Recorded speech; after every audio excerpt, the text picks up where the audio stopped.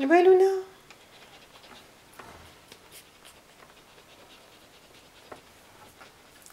Loulou, ma chérie. Oh, je suis fatiguée, Loulou.